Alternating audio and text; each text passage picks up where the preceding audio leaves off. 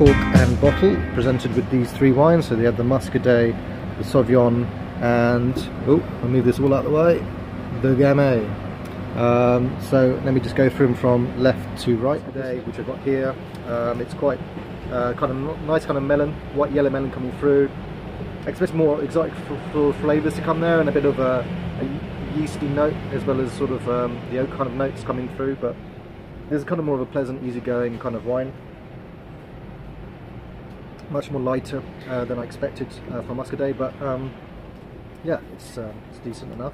Uh, the next one, which is the Sauvignon, um, this is from Loire. Is, I find this a bit more green, just touching on the Aliotti sort of uh, grape, um, green apples, green pears as a sort of flavour profile, light body, acidity kind of higher. The alcohol was plain a bit, so the, it kind of was slightly unbalanced.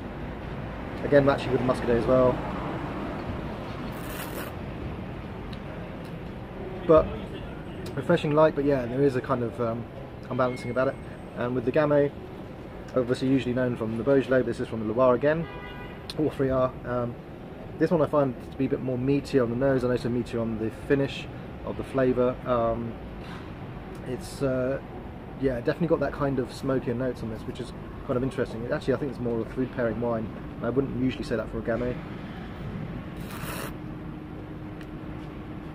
Yeah, then the tannins are a bit more pronounced in this one, so quite interesting. The acidity quite low.